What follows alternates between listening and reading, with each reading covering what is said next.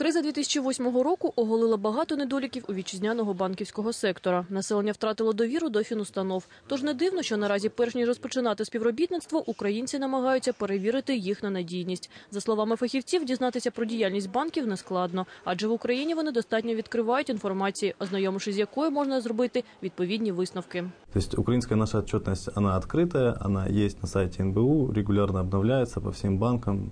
Можно там многое что посмотреть, посчитать. Вот. Что в отчетности вы не увидите, это качество кредитного портфеля. То есть если кредиты какие-то плохие, которые там выданы каким-нибудь связанным лицам, которые их никогда не вернут, это, к сожалению, нельзя из отчетности никак увидеть.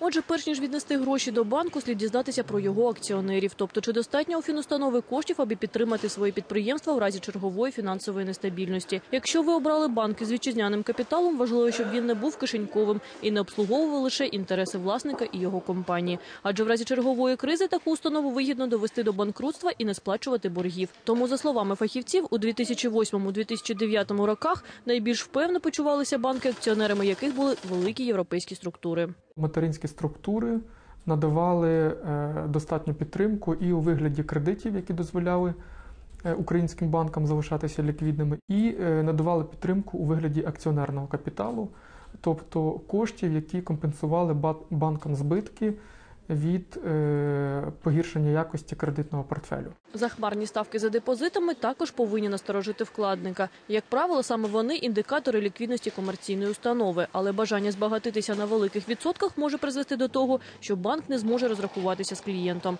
а все через нестачу грошей. Також слід звернути увагу на універсальність установи. Якщо вона залучає депозитні кошти і не кредитує населення і економіку країни, то це повинно викликати занепокоєння.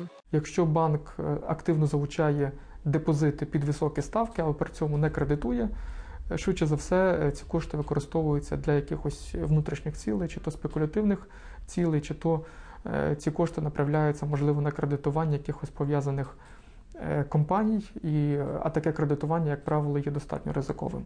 Ще одним важливим критерієм безпеки для клієнта може стати аналіз фінансових зобов'язань установи, адже вона постійно залучає грошей і бере кредити в інших банках. Побачити графік сплати можна на сайті stockmarket.gov.ua. В идеале, когда вы кладете деньги на депозит, вы посмотрели, например, что банку за это время ничего не надо выплачивать. Ну, или много не надо выплачивать.